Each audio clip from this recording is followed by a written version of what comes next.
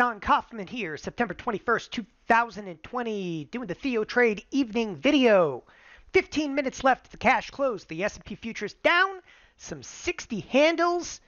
Listen, persistent sell side activity in this marketplace.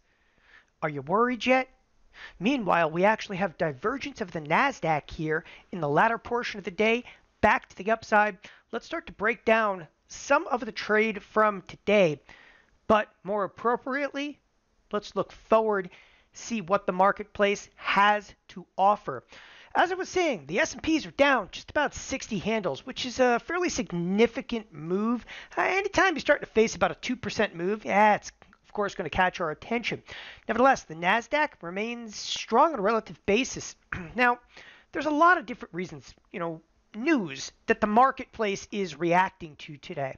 I mean, I could sit here and talk, you know, pretty much about the uh, some of the financials. Obviously, the financials getting smoked on the trading day, down some three percent. Oh, this specifically has to do with oh, you know, money laundering and so forth. Some fines headed their way. Uh, that's that's an old story. Listen, I think a lot of this has to do with some of the reports that have also come out regarding mortgages and delinquencies, much more than those, you know, suspicious, you know, transaction reports and so forth, the financials. I really think the financials are starting to react to the number of delinquencies and mortgages is nothing less, okay, than uh, appalling at this point. Um, we're looking at 8 million insured mortgages uh, of which 17% of those are delinquent.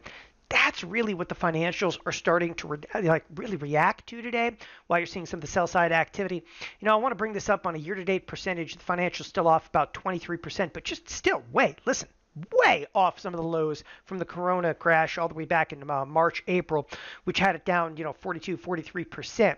So, all right, you've got the financials down. And lately, if the financials have down, uh, you've really had energy uh, get hit with it. And energy is off, well, even more than the financials. Again, what can we cite over here? Oh, it's oil, it's this, it's that.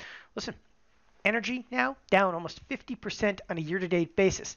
Nothing to see over here. The unusual aspect, I think, of today's trade is that these are the sectors that have actually performed relatively well since this volatility has hit. When I say since this volatility hit, I'm talking now, well, we're about four weeks into the volatility, and uh, here we are, okay, up at the 35.87. Uh, uh, again, you start looking specifically at the uh, the financials. Yeah, they've you know just kind of what flattened out during this period, chopped out a lot of volatility that's impacting them, but the financials haven't gone anywhere. Um, you take a look over, of course, at uh, energy. Energy has just been a slow grind to the downside. Today, though, is uh, obviously a little bit of a standout. A 4% move. Again, 4% move is nothing less than kind of, you know, massive. It's spellbinding in terms of uh, some of the damage being done. But the one aspect that has performed well on a relative basis is got to be undoubtedly the monsters of tech. And the monsters of tech, uh, net net. I mean, look at this. You got Microsoft. It's actually up on the trading day. Apple, just relentless, relentless bid over here. Back away for a second these are the sectors that have been hit hit the hardest. And what is I think a little worrisome as a trader to see. Well, there's a couple things on the screen that I'm actually going to show you here that are absolutely worrisome. And I'm not trying to uh, to come in here today and put the uh, the fear of the bear into you. Let the marketplace do that. But the selling is persistent. What I found interesting today is when they didn't smack Apple and they didn't go after, you know, Microsoft, which have had really rough. I mean, come on, people. When we talk about like oversold, uh, this kind of exemplifies oversold. Again, Apple, you could call it a full blown like bear market if it's just uh, Apple. Again, Apple tearing here into the close with 10 minutes to go. Uh, again, kind of continues to rip to the upside. So you have a couple of products that are in, you know, deep. On, on like a daily chart, these things would be considered deeply oversold. And I can actually display that if you guys are, you know, listen, I'm not a big market technician, but I do know how to pull up a chart here. This is a Theo trade like RSI Laguerre. It's a Laguerre time polynomial with fractal energy on it. take a quick glance, the fractal energy is pretty much run out. But we're in heavily, heavily oversold territory here, specifically on the monsters of tech. Neither here nor there.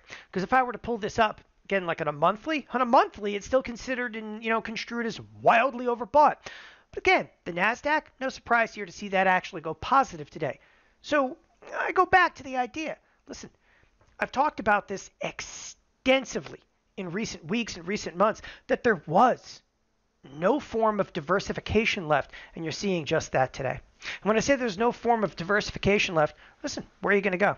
You know, rotate back into to a Microsoft over here after it gotten whacked like that, of course you should expect. You absolutely should expect that quintessential rip your face off rally.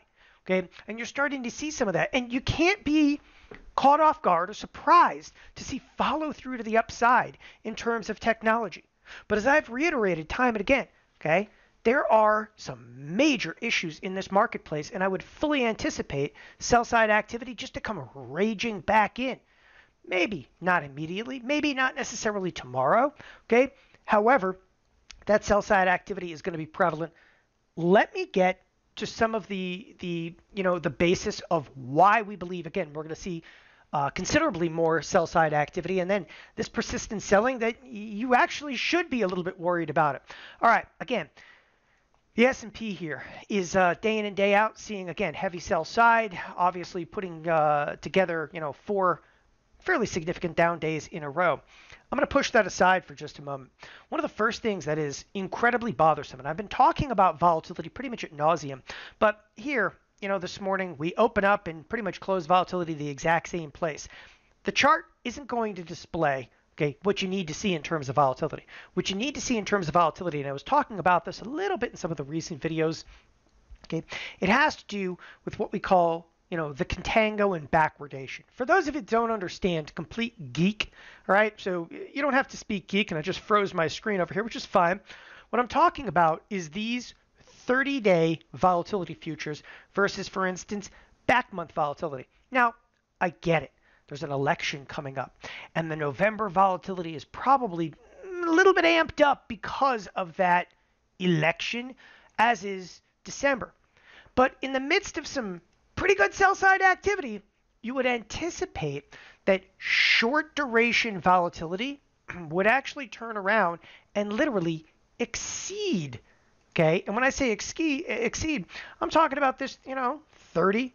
Okay, that 30, 31. So that 31, I would have expected this to shoot, for instance, to 33. Okay, and leave this November in the dust. You know, maybe in the neighborhood of uh, you know, that 32 handle, just a little bit of an inversion. And again, I don't want to confuse people with the, you know, contango and backwardation. I don't want to geek out on you. I would have expected these to invert.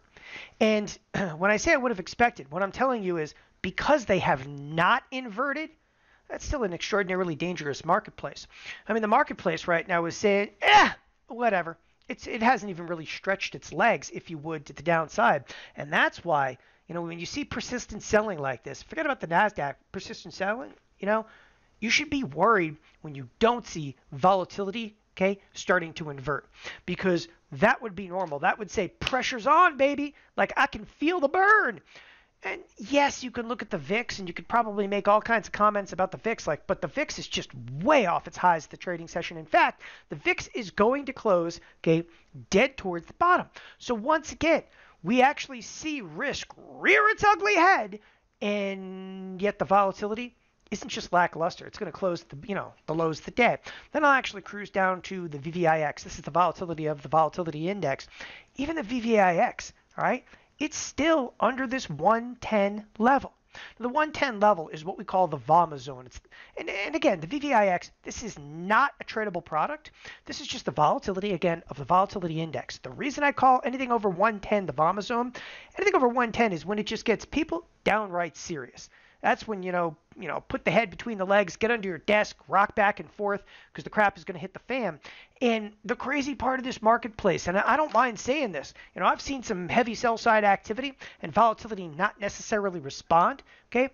But this, this is persistent, okay? Persistent sell side activity, and the volatility is not responding. And that's why it should put a little bit of that that fear into you. So tech is outperforming today, but again, it's massively oversold, right? To be expected. Volatility isn't reacting the way we expected it to. The bonds, the bonds are nowhere to be seen.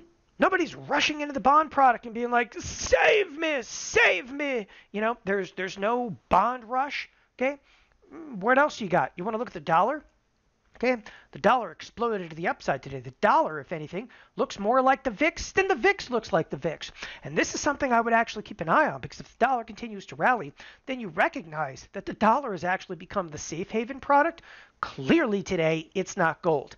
All right, with gold in mind. Again, has it been a good hedge as of late? Absolutely unequivocally no. I, never believed gold is a good hedge for the S&Ps turning down, but you could probably make a good argument for gold being a hedge against inflation.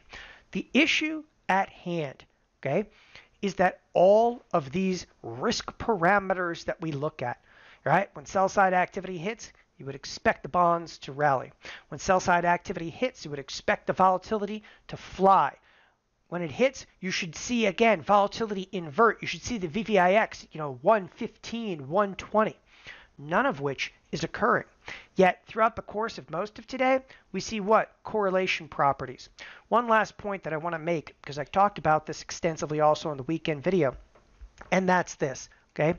If you take a look at the expected move, the expected move this week on the SPX, the last thing I said to you on the weekend video is I said, do not sell options this week there was an $83, again, an $83 expected move. That's $83 higher, $83 lower. Yeah, we hit that today. For those of you who've ever, ever questioned expected move, take a chart and the SPX cruise down all the way to the one day, one minute. Tell me, okay, that every trading firm out there isn't hedging off the edge of that expected move. Literally to a T. It is spot on, people. I'm telling you, you may see some rip your face off rallies in the days to come. But the sell side activity that we have seen thus far, okay, has left too much on the table. Okay? In just the next couple of days, if we again have that rip your face off rally, when they do come back in to sell it, you got to actually check this box here at the 3211. We missed it today, and quite frankly, I'm a little surprised. 3211 right there. Again, when I say check the box, the 3211 is what we term a gravity point. Uh, again, pretty shocking that we bounced and missed that today. I would expect and anticipate that we are going to make a show of the 3211 at some point throughout the course of this week. No question about it. Again, that sell side activity is persistent. Believe we're probably overdue for a bounce, quite specifically inside of none other than the NASDAQ. Okay. But again, sell those rips. Use things like in out spreads to do so. Stay define risk, and you'll be fine out there. Thanks, everybody, for joining us here at Theo Trade. Have a wonderful evening. Bye bye.